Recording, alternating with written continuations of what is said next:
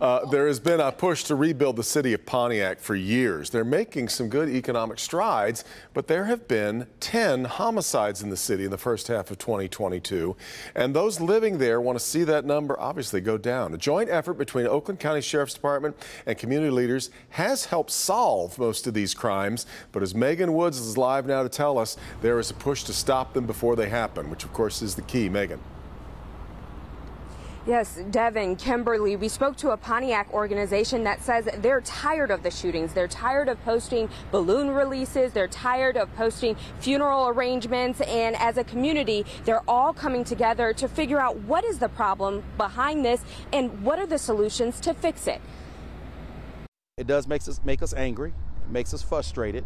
Um, even to hear that Pontiac is even on the map in that case. Kevin Sanders is with Pontiac Universal Crimes, an organization that brings awareness to local crime as well as solutions. That heaviness should bring awareness. That people should get so tired of hearing these stories, watching these reports of murders, that it will stir up enough frustration that people get out and say, What can we do to bring a change? Oakland County Sheriff Michael Bouchard says they've taken a closer look at the homicides in Pontiac. It's very targeted. It's not the average person in Pontiac that is, is being targeted just coming and going to work or school or a business. It's very specific, a bad drug deal or somebody that has animosity. So those are harder to get in front of because they're personal. He says 8 out of 10 of Pontiac's homicides in 2022 were solved and hopes that's a deterrent for the second half of the year.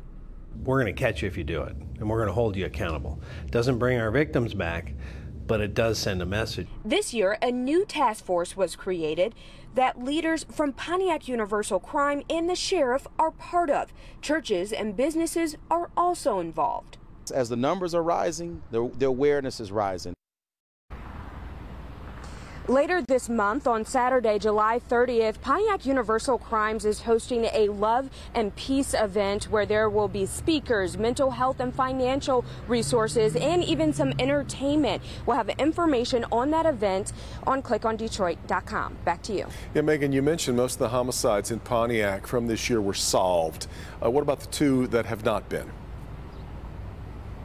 Well, you may remember the arson, the case of arson at a home in Pontiac early uh, in January. Well, now deputies are saying they still haven't found the person responsible. So if anyone watching has information, two people were killed. So please contact Oakland County Sheriff's Office. That's the key to clearing these files off the records. Exactly right.